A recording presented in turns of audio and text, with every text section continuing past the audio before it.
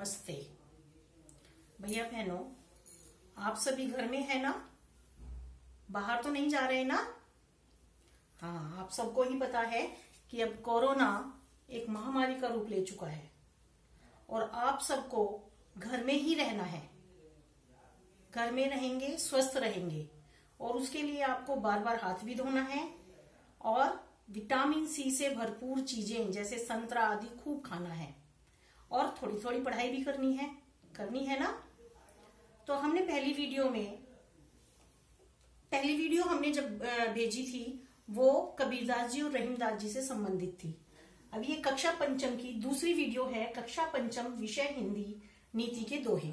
इसमें हम तुलसीदास जी के विषय में आपको थोड़ा सा समझाएँगे। ठीक है? उसके कुछ दोहे भी हम आपको अर्थ सहित बताएँगे।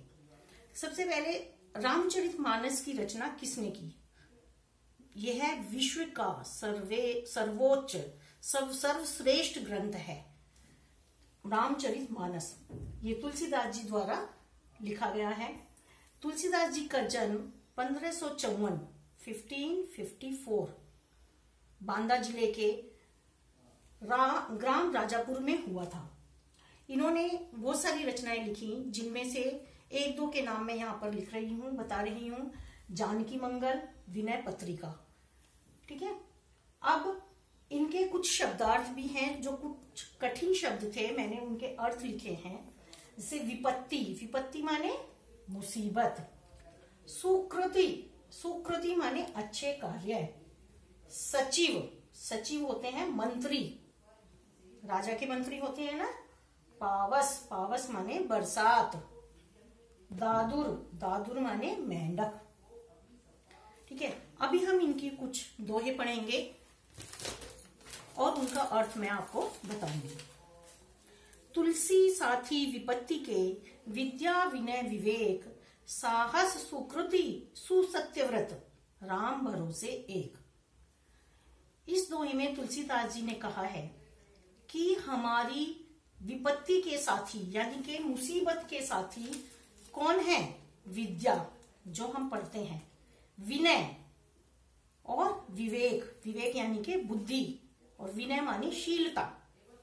साहस, सुकृति सुकृति माने सुंदर रचनाएँ। और सत्य बोलना, सत्यव्रत।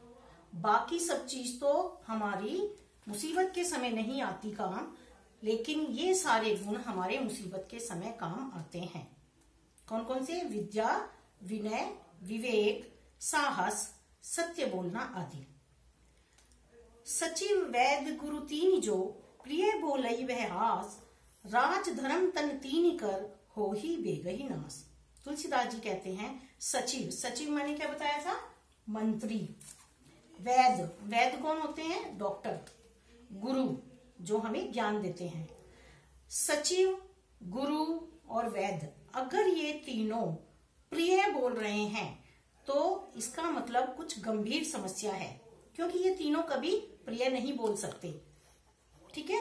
जैसे अगर मंत्री प्रिय बोल रहा है, यानी कि राज्य में राज का नाश, राज्य का नाश होने वाला है, या राज्य में कुछ मुसीबत आने वाली है, और वैद्य झूठ बोल रहे हैं तो आपको कोई भयंकर बीमारी है। और गुरु धर्म की बातें बताते हैं, यानी कि धर्म से संबंधित। तो ये तीनों का काम है कड़वा बोलना। क्योंकि कड़वा सच, सच्चाई जो है वो कड़वी होती है। तो अगर ये तुमसे कुछ सच्चाई छुपा रहे हैं तो इसका मतलब कुछ गड़बड़ है। तुलसी पावस के समय धरी कोकिलन मोन अब तो दादुर बोली है हमें पूछी है कौन? तुलसीदास जी कहते हैं कि पावस पावस माने बरसात। पावस के समय बरसात के समय कौन बोलते हैं? मेंढक। और मेंढक क्या? चाटुकारिता। और कोयल कब बोलती है? बसंत ऋतु में। तो अगर तो, आ, कोयल कह रही है कि अब तो बरसात है अब तो चाटुकारिताओं की ही चलेगी। यानी कि मेंढक बोलेंगे हमें कौन पूछ रहा है? सज्जन मनुष्य को कौन पूछ रहा है? हमारी कितनी ऋतुएँ होती हैं? छ तीन मुख्य हैं। छह वैसे ऋतुएँ होती हैं। कौन कौन सी? गर्मी, बरसात, सर्दी, बसंत ऋतु, हेमंत ऋतु, शिशिर ऋतु। है ना? तो बरसात के समय कौन बोलता है? यानी कि मीठा मीठा अच्छी बातें कौन बताता है? कोयल। अब हम इससे संबंधित थोड़े से मैंने छोटे छोटे से प्रश्न लिखे हैं। ये आप अपनी कॉपी में भी लिख लीजिएगा। शब्दार्थ भी और प्रश्न भी। जैसे निम्न कवियों की दो दो रचनाएँ लिखो। कबीरदास जी। हमने पिछली वीडियो में पढ़ा था ना? कबीरदास जी। कौन सी? साखी सबद। रहीमदास जी की पंचाध्यायी, रहीम दोहावली। तुलसीदास जी की विनय पत्रिका और जानकी मंगल। ठीक है? इनको आप अपनी कॉपी में लिखेंगे। अब हम इसी पाठ से संबंधित कुछ थोड़े से पर्यायवाची भी बताएँगे। सबसे पहले पर्यायवाची होता क्या है? आप सेकंड क्लास से पढ़ते आ रहे हैं। एक ही शब्द के अनेक शब्द। अर्थ नहीं, शब्द। तो वह पर्यायवाची कहलाते हैं। जैसे धरती। धरती है ना, जिस पर और इसको क्या बोलते हैं हम? ज़मीन, भूमि, वसुधा, भू। ये सब पर्यायवाची हो गए धरती के। ऐसे आकाश। आकाश को हम क्या बोलते हैं? आसमान, नब, गगन। है ना? बोलते हैं ना तो ये पर्यायवाची कहलाते हैं। अब इसमें से मैं कुछ तुम्हें पर्यायवाची दूँगी। बहुत मुश्किल नहीं है, लेकिन उनको आपको अपने आप करना है। जैसे सबसे पहले हम पृथ्वी का ही लिख देते हैं। पृथ्वी के आप तीन तीन पर्यायवाची लिखेंगे, ठीक है? ऐसे ही आकाश।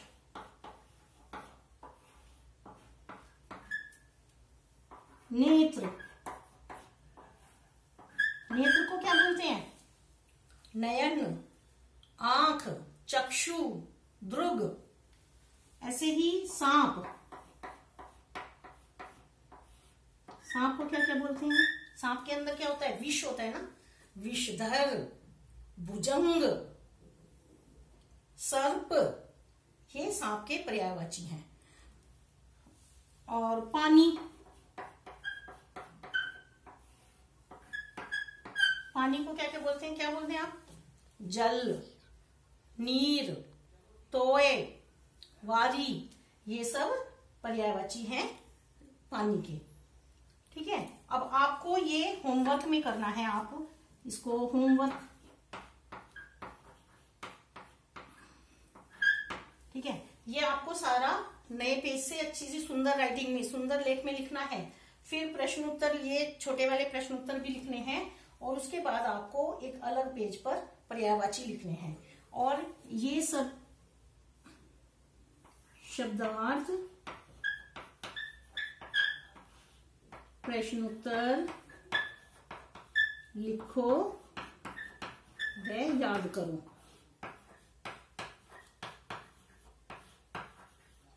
ठीक है?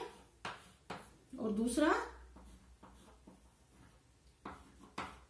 पर्यायवाची लिखना